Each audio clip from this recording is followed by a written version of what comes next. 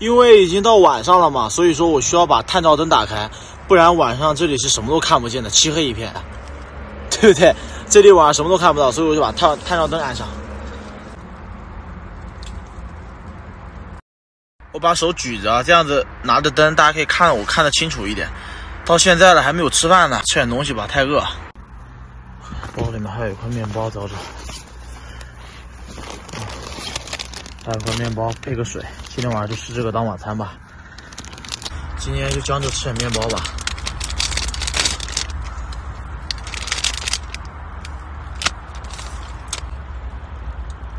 一个面包不一定吃得饱啊。哎，还有个橘子，这个橘子是我从上海来的时候路过，路过一棵橘子树嘛，我就摘了一颗。这个橘子在我包里可能放了已经有半个月了，尝一尝这个橘子怎么样？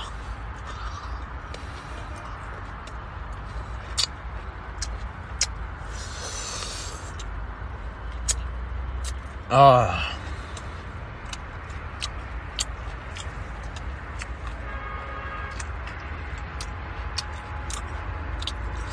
这种什么味道你们知道吗？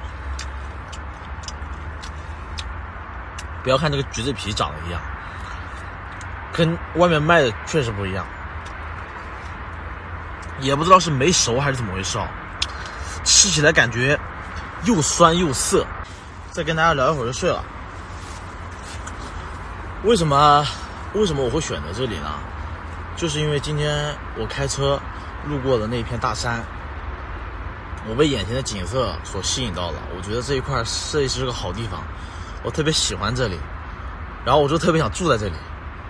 我就想了想，哎，我车上好像有帐篷，然后被子、帐篷、水、电，我想都有，我就说我这今天就住在这里，体验一下。车上本来有一个靠枕，太激动了，一看到这片美地，我就直接冲下来了，抱着帐篷就下来了，枕头也没拿，唉。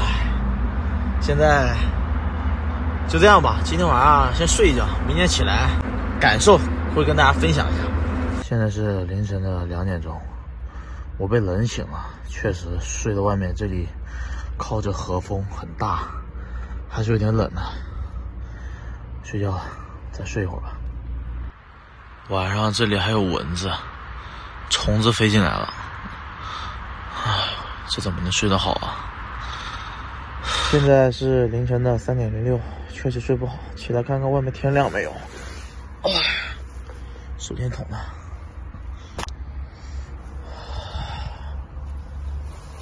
看看外面天亮没有？哎，天还没亮。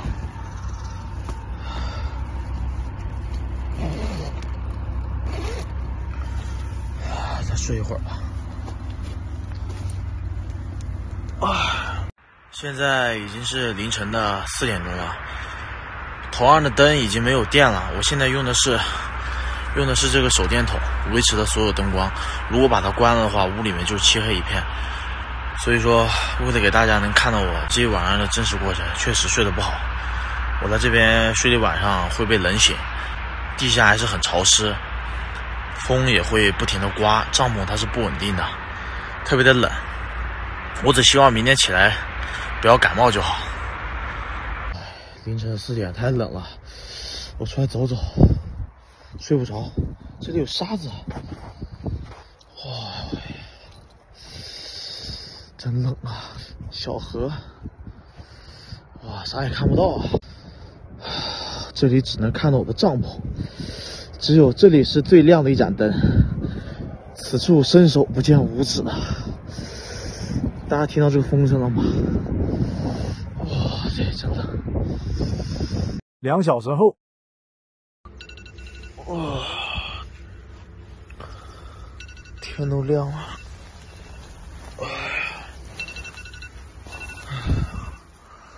六点了，起床吧。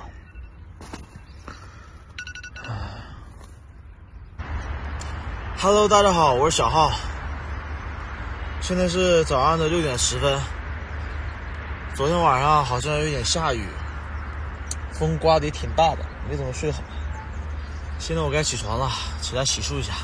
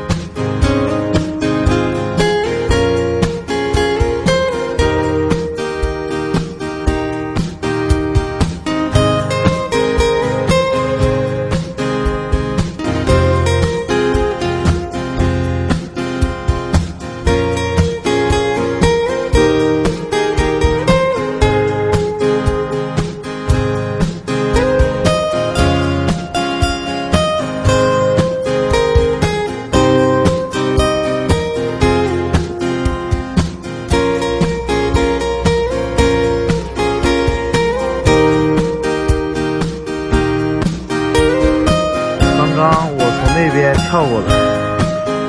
我讲。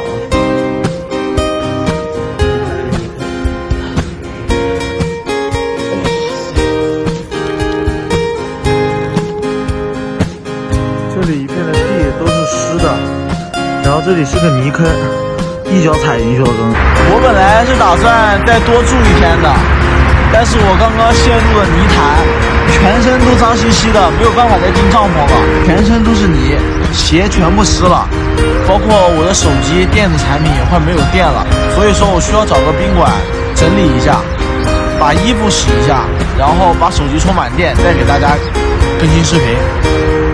现在我把帐篷收一下。生活不止眼前的苟且，还有诗和远方方的田野。你赤手空拳来到人世间，为找到那片海不顾一切。生活不止眼前的苟且，把垃圾收拾一下。还有诗和远方的田野。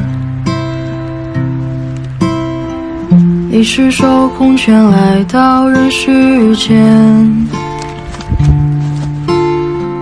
为找到那片海不顾一切。